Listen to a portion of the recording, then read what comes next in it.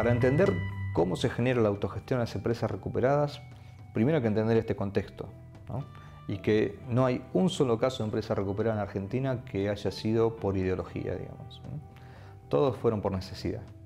Es decir, la empresa cerró, nos quedamos sin trabajo, resistimos como podemos, nos quedamos en lugar de trabajo y llega un punto que al, no haber ningún tipo de respuesta, decidimos este, tratar de hacer funcionar la empresa por nuestros propios medios en forma colectiva.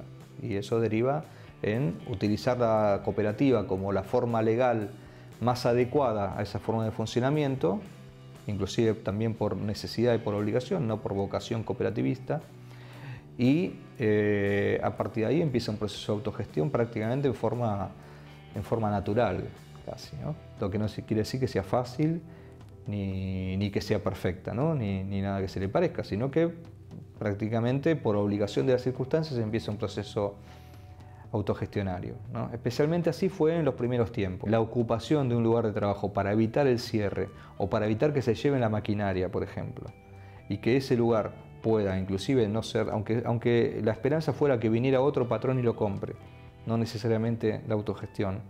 Era, la cuestión era evitar que se llevaran las, maquinarias.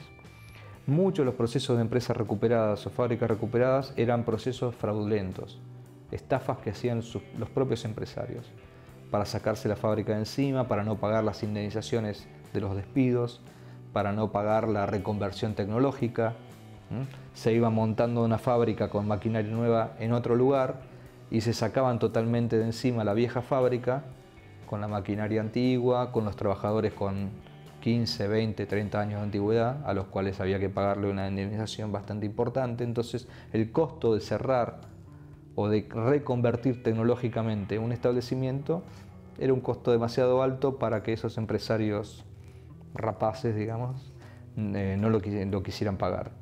Entonces había toda una serie de facilidades que daba el reordenamiento neoliberal de la legislación laboral y económica, la reforma de la ley de quiebras, eh, las leyes de flexibilización laboral que hubo de precarización todo a lo largo de los 90, que dieron el contexto para que hubiera una quiebra, un cierre masivo de fábricas y de empresas, que además cuando llega el 2001, la crisis total, absoluta, se produjera un, movimiento de ocupación de unas 100 o 120 empresas y fábricas en forma simultánea. Se llega a un pico de paro, de desocupación del 25%, que es desocupación total, absoluta.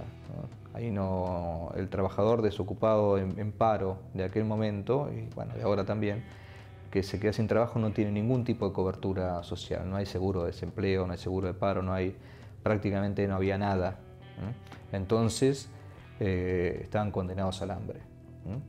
Y eso fue generando distintos tipos de eh, estrategias de supervivencia, de reacción.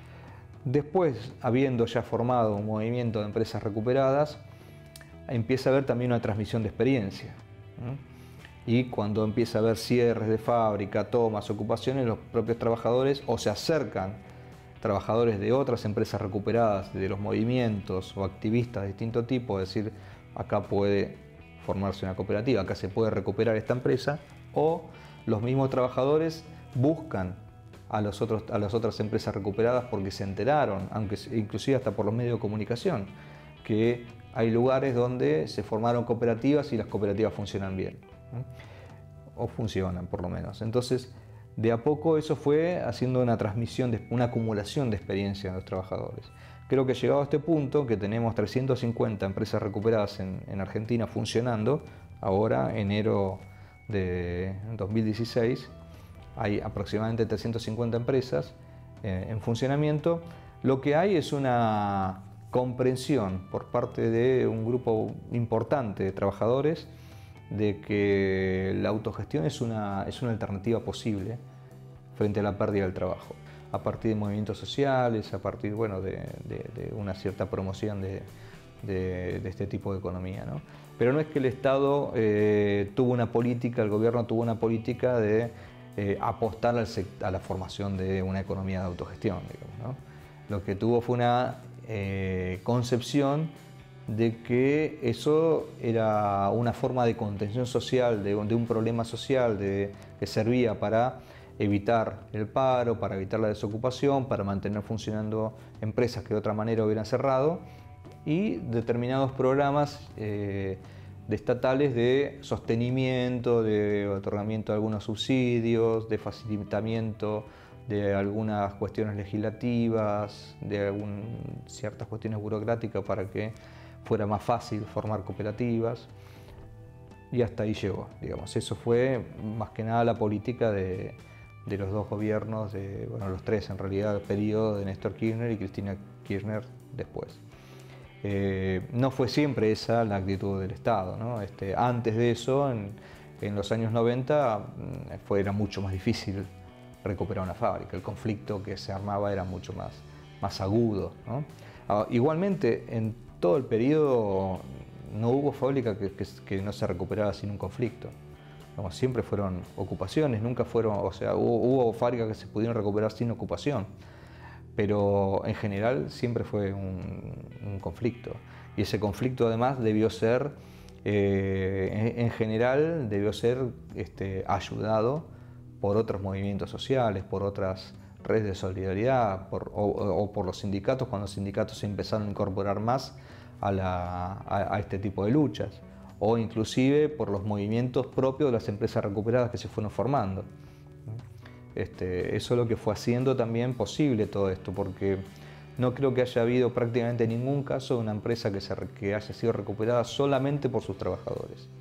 Siempre hubo una red más amplia que lo hizo posible, para evitar la represión, para colaborar en los periodos difíciles donde había meses y meses y meses de ocupación, donde no había ningún tipo de ingreso y bueno, los trabajadores tenían que comer de alguna manera y había colaboración inclusive de los vecinos, de la gente del barrio, de las organizaciones, de los sindicatos, también a, veces ya más avanzado en el tiempo, 2008, 2009, por parte de, organismos públicos que proporcionaban algún tipo de ayuda, pero ese siempre fue el, el contexto de una empresa recuperada el problema de la propiedad está, sigue estando en disputa en la mayoría de las empresas recuperadas, porque al ser quiebras, este, empresas que han quebrado, eh, no hay, obviamente no hay una ley que diga empresa que quiebra puede ser ocupada por, sus trabajadores. Eh, ahí se acabaría el capitalismo a medida que vayan quebrando las distintas empresas.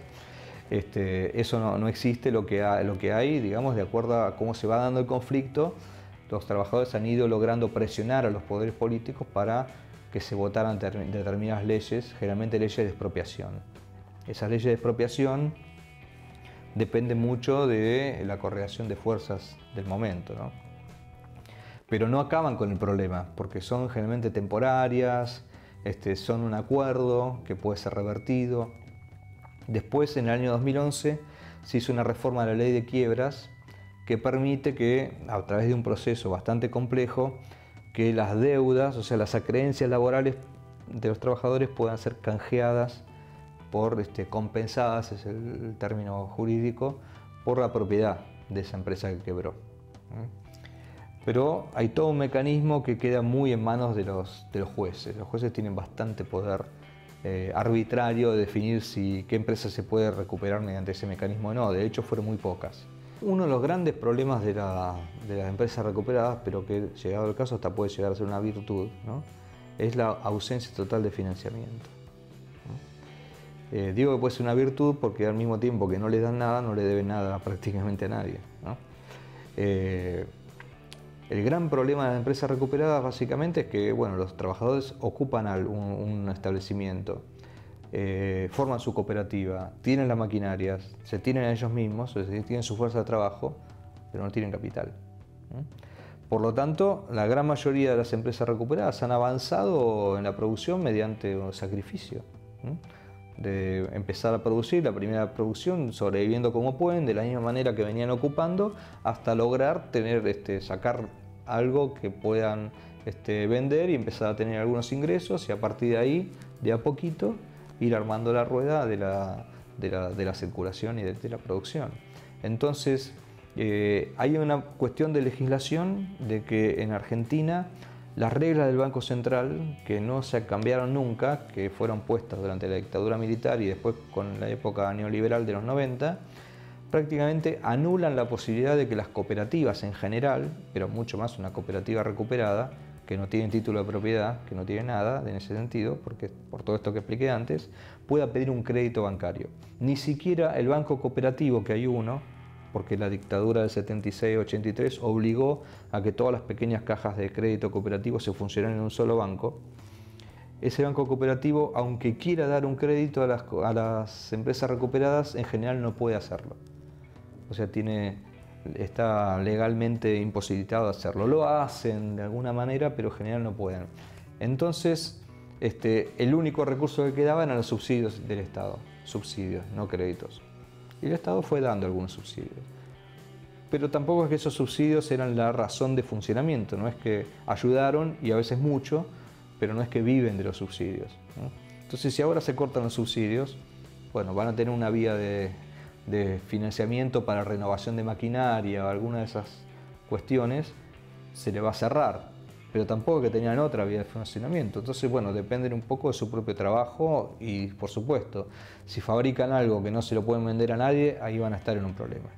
Hay muchos conflictos entre los trabajadores que toman responsabilidades y quieren cambiar las cosas y entienden cuál es el, el nuevo desafío y los que no, y los que quieren trabajar igual que antes los que dicen mi horario es de tal, de tal hora a tal hora y yo por esto quiero que me, me toca hacer esto y quiero que me paguen tanto. Y los otros que le dicen, bueno, pero para eso tenemos que, tenés que venir a la asamblea, hay que discutir estas cosas y los, y los tipos no quieren. Eso, esos conflictos pasan, están todas esas, todas esas cuestiones. Así todo, con todas estas complejidades, hay un clima mucho más humano, hay un clima de, de, de mayor confraternidad, eh, y ciertas cosas que son, creo que lo que se relaja más, lo que cambia es lo más irritante y lo más molesto de la disciplina patronal, ¿no? esas cosas que son arbitrariedades, que se hacen casi porque sí para demostrar el poder que tienen los patrones dentro de la fábrica o de la empresa, ¿no? decir, bueno, vas a estar de tal manera, eh, tenés que estar vestido de tal forma, eh, la comida es de tal hora a tal hora y todos separados o todos juntos o todos de tal manera y ese tipo de cosas.